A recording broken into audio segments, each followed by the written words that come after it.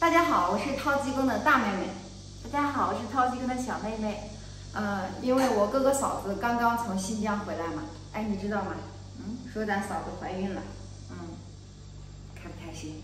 挺开心的，多一个侄子或者侄女，我也很高兴。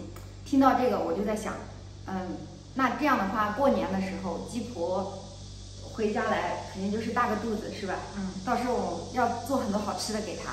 我我爸爸和我妈妈出去打工了，妈妈在西安打工，然后我爸爸在内蒙古打工，我跟毛毛两个就回到了老家农村。我俩每天在干什么？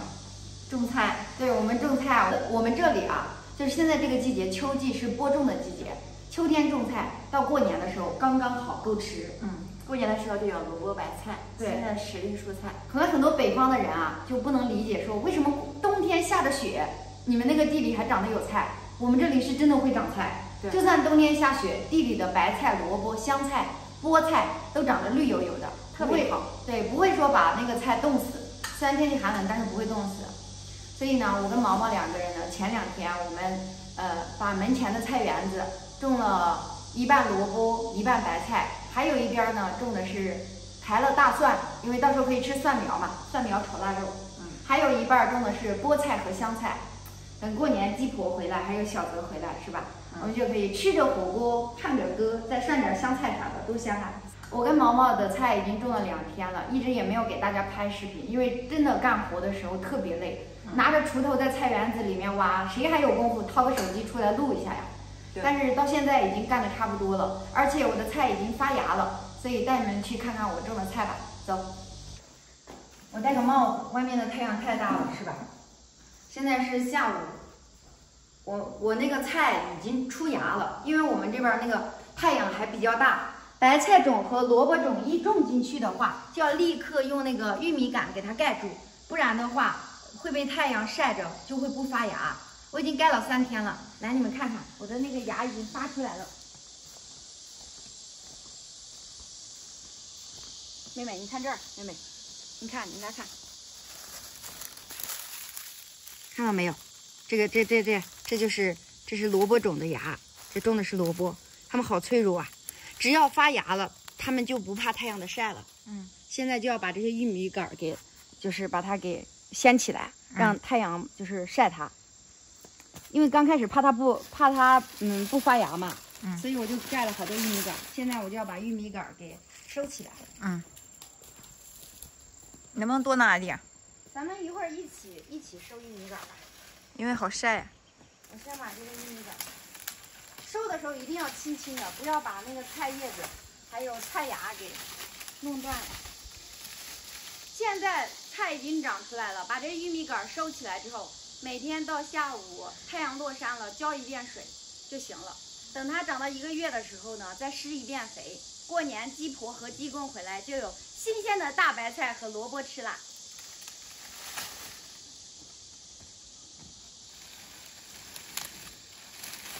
这玉米杆都是我从山上抱下来的，给我晒死了。当时。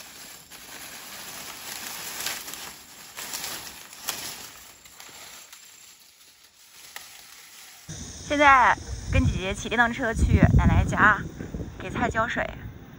以前这个幼儿园是我家的一块地，后来被征收了，盖成了幼儿园。对。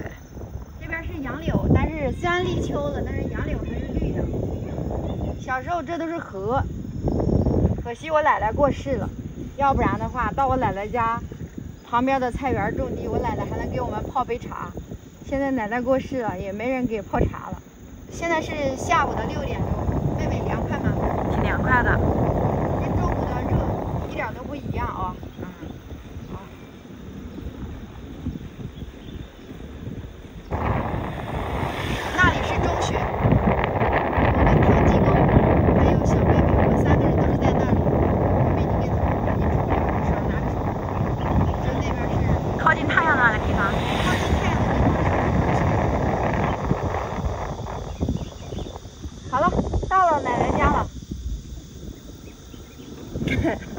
过世了，我们还一直喜欢说到了奶奶家了。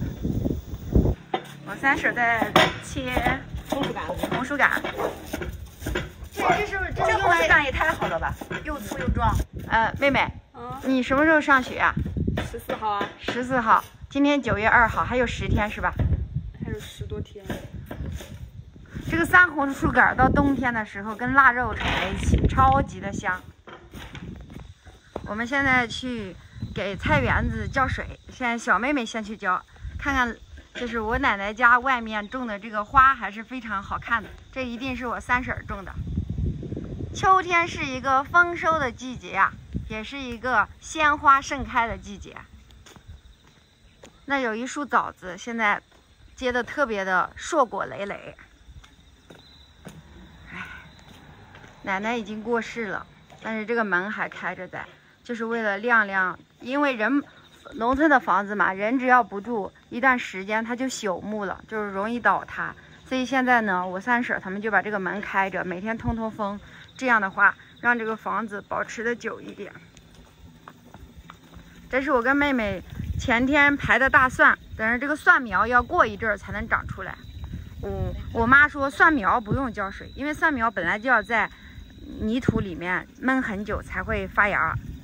这一小地方种的是五十六天的白菜，这是我妈还在家里的时候种的萝卜，那个就是先头我晒的辣椒啦，就是在这儿摘的。我不是家里晒了很多干红辣椒吗？过年掏鸡公炒菜可以放上一把干红辣椒，就是摘的这一片辣椒。辣椒红了，我们就摘了回去晒，晒干。那这一块就是我跟小妹妹种的地了，这一半种的是萝卜，那一半种的是白菜。现在由于这一块地就是比较干，是一块沙地，所以呢每天都得来浇水，每天都得浇，一直浇到发芽。一旦发芽了，马上就要打上薄薄的一层农药，不然的话造麻子。就会把那个，嗯，菜芽给吃掉。对，我们现在每天都来浇水。啊，那个是我奶奶的邻居。小妹妹今天浇水，穿了一个我妈妈的衣服，衣服好有一种干农活的感觉。特别是这一块沙地，要多浇点水，不然的话，它就超容易干，然后就不会发芽了。